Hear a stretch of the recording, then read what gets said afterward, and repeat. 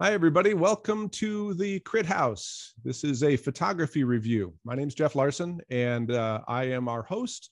And we have uh, here at the Crit House a process where we're going to take a look at a batch of photo photographs from a photographer. It's either a project or a group of images, and have a discussion about them and try to learn from it and uh, try to help out the photographer. We have two experts to help us out here today.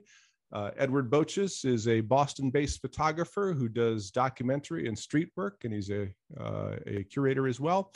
And Ellen Friedlander is out in uh, Los Angeles, and she does street photography as well as uh, portraits and landscape, and uh, uh, she curates some shows as well. So welcome to the both of you. Hi there. Thank you. Thank you for having us. Absolutely. Uh, it's great to uh, have you join us.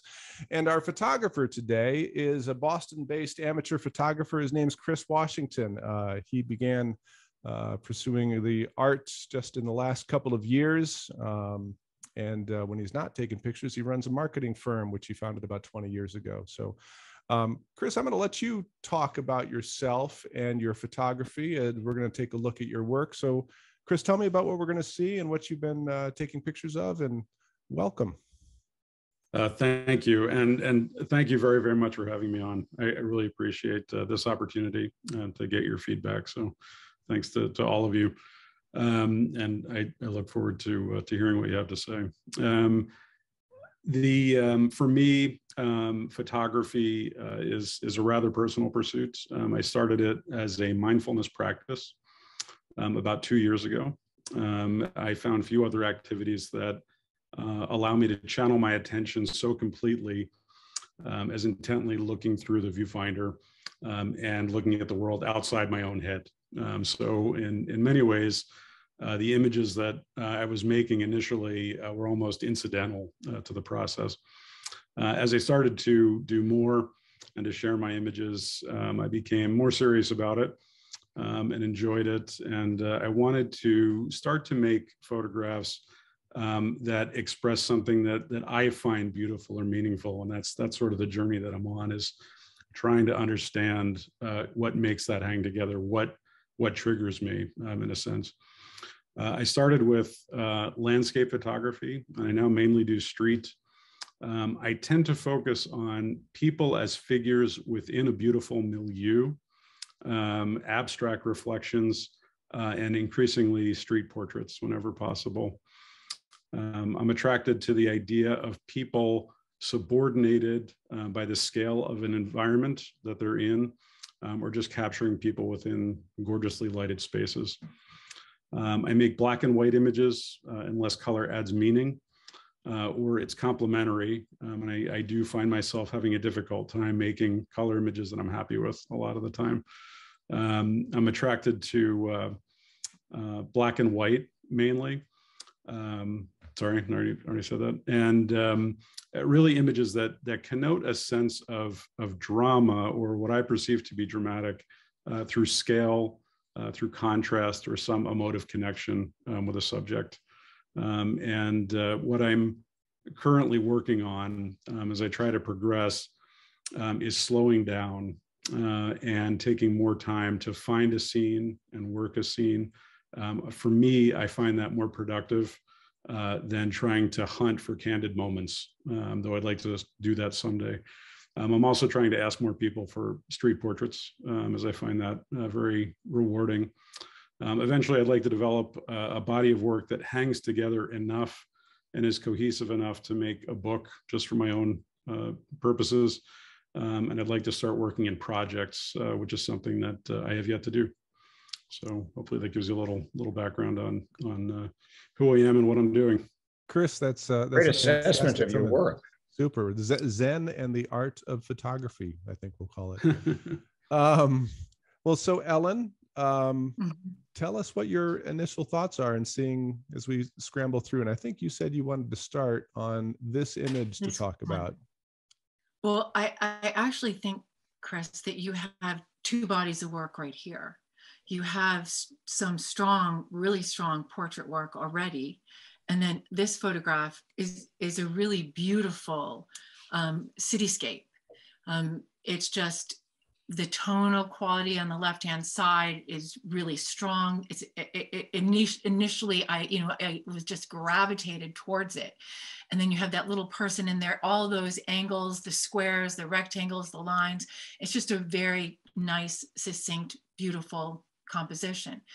Um, I think that when we're talking about street, to get it to the next level, you take this and you make it like like what would make somebody stop mm-hmm. okay so that's that's the difference when you get to another point is you want to make this is really beautiful but now how do you elevate it to make the viewer go there's there needs to be some sort of um, surprise or um, just an uncertainty or maybe a just something that gets the viewer like oh i i didn't see that red flag in the corner just to surprise us because we're mm-hmm. inundated with photographs so that's the one thing i would say that helps the photograph be um, uniquely yours mm. um, in your i'm just if you can go to his portrait work the one of there's this i mean this is beautiful. And then the other one with the hair in front of her i think it was a woman in front of her face. Is that the uh, um, the color color image? Oh, uh, this, one. this one. Yes. I mean Man. look at those eyes. They're amazing. I'm incredibly i mean just i'm riveted. And the hair not in the perfect location and then the buildings, they're black and dark. There's a lot of energy in this photograph and your vantage point is a little low also really interesting. So those those are two takeaways from two two bodies of work that you already have right here. Edward. So on uh, stay on both those images for a second the first one so there's things i love about it which is you're using um, not only the entire frame, that back to the other image, Jeff, please.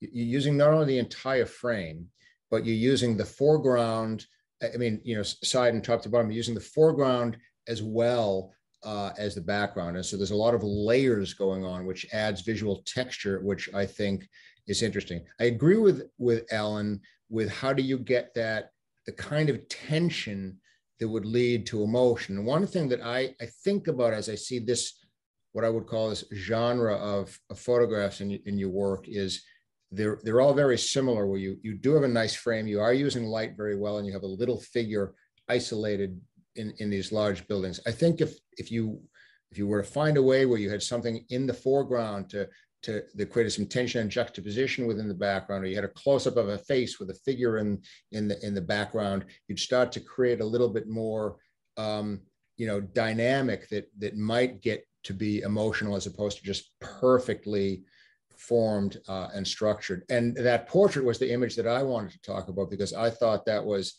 gorgeous on every level um, because uh, not, not only the eyes and, and the frame between the buildings, but the shadows in his in her scarf or jacket or whatever, mirroring the shadows in the in the buildings. And the other thing, back to that perspective, it's it's like a hip shot, but it's obviously not a hip shot because it's too it's too perfect a, a portrait. So um so that I mean that I'm I'm this is a beautiful photograph. Yeah, I'm just I'm I I and and I can imagine I also like the mask because the eyes are telling me that this person is sort of smiling or or is is lit up and is in, in enjoying this engagement even though I can't see um, you know, a mouth. So want to go back to the to the context? Oh, yep. So so the one thing I will say on on some of the uh, the other things, and this is this is me again. I love how you're using the frame and you're thinking about light. So I think the top right one works pretty well. One criti- one criticism I have is when you photograph everything from behind people all the time. Mm to me, that's like too easy. It, it basically says you weren't getting into the photograph. You weren't taking me, the viewer, into the photograph. You were just watching something in front of the camera, making a great picture, well framed, well lit, etc. But you're not taking me to something that I wouldn't or couldn't see on my own. Mm. And I think that's what Ellen's getting at when she talks about where's the emotion. Right. Mm. Mm. Uh, Those three black and white portraits that we're looking at the contact sheet, they you they hang really well together. Mm, If you you can see, and they all have very distinctly different emotions that they're emit, omitting, right? And that you could see a body of work just starting right there, really strong. Uh, You've also framed them very interestingly with negative space and positive space and how their bodies are shaped in within the frame. All that is really interesting.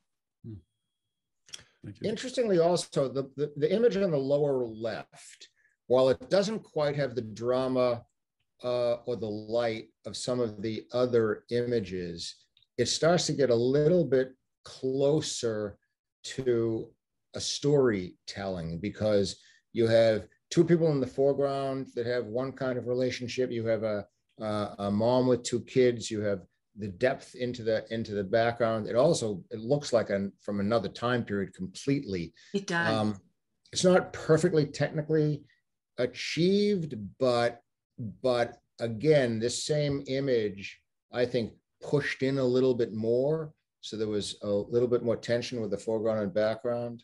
Uh, I mean, I love it as I like it as it is, even even with the flag on the upper left, and um, it, it it does have an emotion. Two flags actually has an emotion to it, just in and of itself. Um, this is a really important photograph because it does look like it's from another time. It's very interesting how you captured that.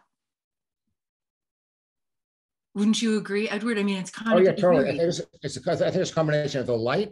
I think it's all the old buildings. I think it's the fog, you know, leading off into the background. And the other thing, I I don't know if you thought about this when you took the picture, there's no new cars, right? Because every time we see great old New York photographs, it's the cars that, to, to telegraph the time. And it's really hard to avoid that these days. And I think that might be what, what this is. This, Mm. there's no, you don't see, you don't see modern cars up close.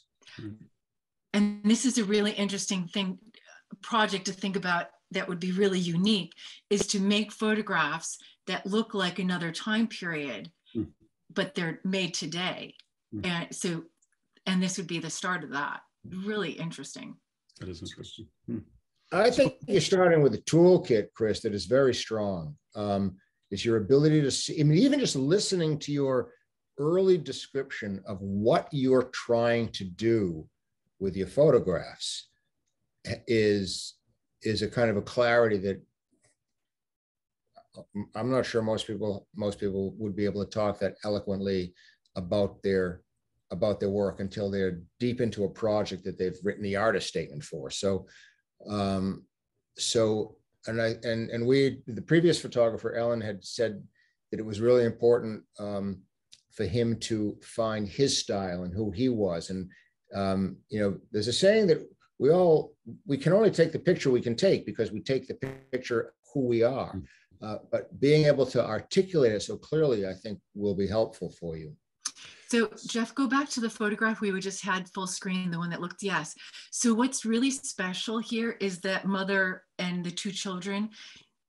There's a there's a a, a sweetness that you can see in that, and they're right in the center.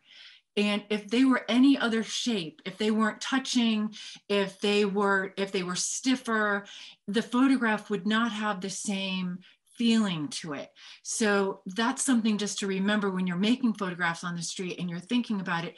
Every person that you actually photograph, their bodily um, gestures are incredibly important for the overall feeling of the photograph. And so you can see that clearly you, you did it here.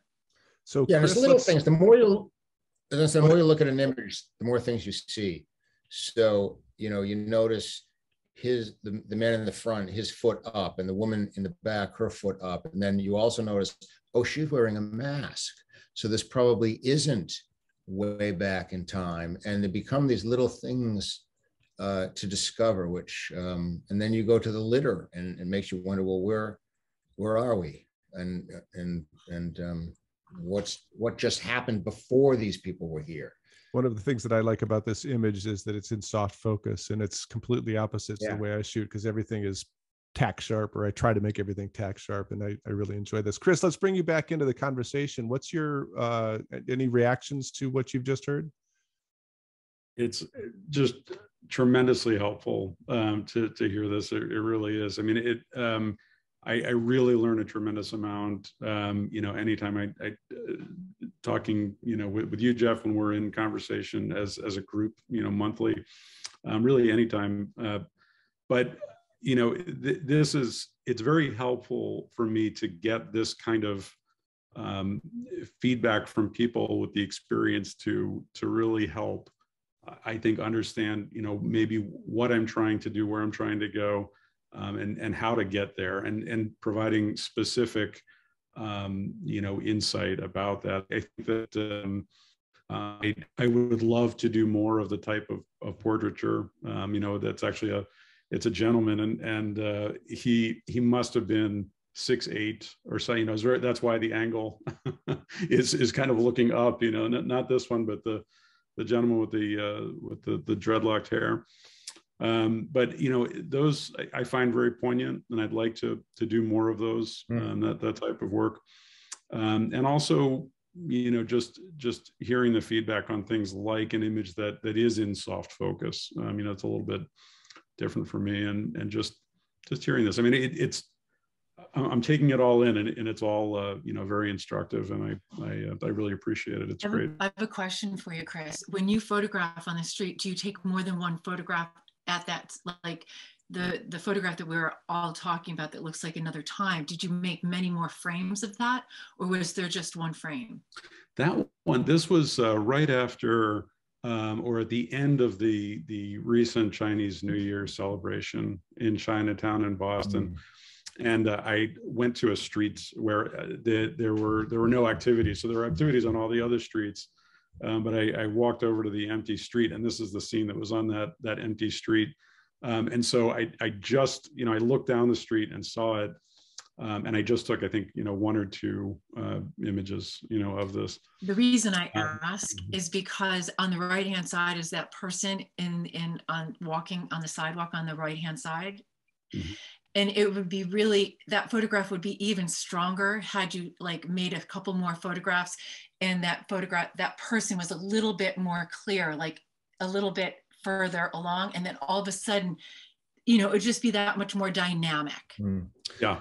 That, that's so, one of the things I, I, think building, you know, that that confidence and it's it's the instinct. I think I, I don't yet have the instinct to to do exactly that, and I think well, I need the experience to think that way. Yeah. That that comes with like because some of this with with with an image with this much happening in the frame, it's never possible for you to see everything that is is happening. And you're always going to be surprised when you when you see the image and i don't care how many years you're a photographer. Hmm. um, but but i think it but the more you do it the the more your intuition um, and you just feel for it uh, gets you at the right place at the right time. And then and then you realize, okay, I automatically know what's in the foreground, and I very well know what's in the center of the photograph. Now let me take a half a second and just look at the edges and think about what's moving there. I want to say something else about this that I find really interesting that, that is also different from some of your other photographs besides the soft focuses. Is there, there's an ambiguity to this image. It's like there's this, some of these, your other images are crisp, clear, but also literal. I know exactly what the story is. The story is what you have put in the photograph. Here, there's a story. I don't know what it is. I can use my imagination. I don't mind not knowing what it is. And that ambiguity makes this more interesting to look at and it and it and it sucks me in even even deeper and i think you had one other image where you, you it felt a little bit like that but but that's just something else to think about um you know, you don't have to be perfectly literal. Like I think it was this one here because the, you've got the guard on the right who's still and stoic and clear with a shadow, and you've got those other things. We obviously know it's a reflection, but is something interesting in the juxtaposition between all those people going one way and in motion, and he's still and he's not. And are they going home? And is he still stuck at work? What does that mean? Um, is he's he's he's a black gentleman. Uh, are the other people, you know, white people getting to go home? It's just it, it doesn't even matter what the answer is. It's just that there's enough ambiguity in the image that the viewer thinks about that.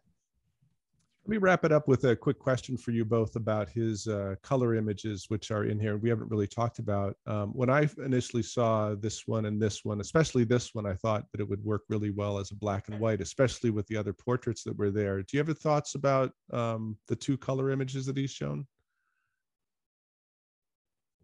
My first question is, is when do you decide if they're going to be color or black and white? Do you decide after the fact or do you decide when you're taking the image? I can lie and say that I do it when I'm taking the image. Uh, I think I think that in reality, you know, it, it, in most uh, cases, I I do try to think, uh, you know, beforehand. In, in both of these cases, um, you know, I I knew that I wanted to make the image mainly in color. Um, with this gentleman, he just had a beautiful skin tone and was standing in beautiful light. He just looked phenomenal. His the the the color, I think, is beautiful, and the color of the light uh, you know, reflecting on him is beautiful. This person uh, also has a, just a, a, beautiful face, and the tattoo and the the color of her hair is meaningful to her. Uh, you know, and so I thought it was meaningful, you know, to to include that in the in the image. I think it would be, uh, you know, it wouldn't do do justice to to her image, you know, to to make that uh, black and white. And so I I chose to make those color. Well, she's definitely she needs the color. I mean, Mm, right. her hair, her tattoo, her blue mask. I mean, she's she's she's she, she wants you to make her in color. Mhm. So that it definitely you you you hear her. Yeah, the light here wasn't as good, but I- I would have thought about a profile in her. And I'm gonna make one other suggestion on this stuff. I think, I think you, you shouldn't shoot everything from that angle. Mm, I think you should mix it up a little bit, certainly on portraits. Um, at number one, number two, once somebody has agreed to let you take their photograph, work the hell out of it. Hmm. And just and do it until they tell you, yeah, I'm tired of this guy. I gotta, I gotta go now. So I mean, once they've agreed, you you have them. You, you know they're going to always start out with a smile. Let them do that, and then you ask them not to smile. You ask them to keep their lips pressed together. You ask them to close their eyes for a second. Give them something to think about. Tell them to open their eyes, not their lips. Shoot them from a different focal distance. Shoot them from the side. I mean, once they have agreed, let them get fucking sick of you before you quit. You know. And I'm gonna add I'm gonna add to Edward. Don't be afraid to be like play with the frame. You Hmm. know, like you have edges. You know, and also changing your shutter speed. At the end, you've gotten all you've gotten all your photographs. Everything is right there in focus. Okay, well now change your change it up a little bit. Slow the shutter speed down. Maybe get them out of the frame. Maybe get a hand. Just you know, just again work it till it's you can't you know can't work it anymore that's when you get your best photographs what a You great. know, Uh, um, the uh, sorry, Edward. Last thought.